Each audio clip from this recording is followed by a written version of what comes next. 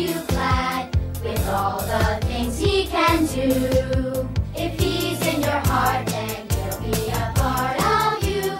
If you have a heart, then come, he's a pal for you. Here comes another adventure with me and all my friends.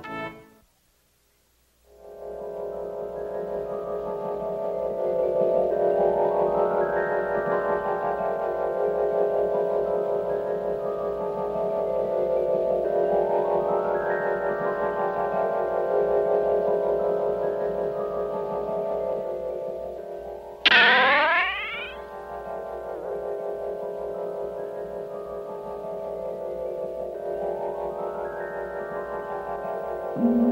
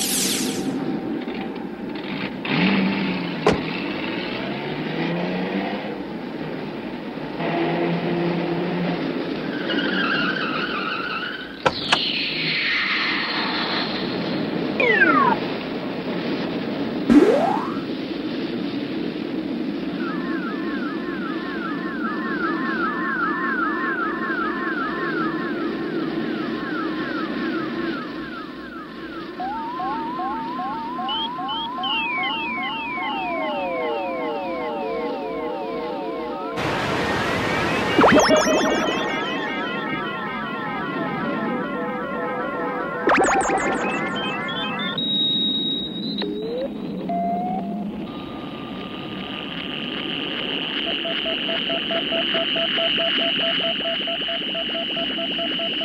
you.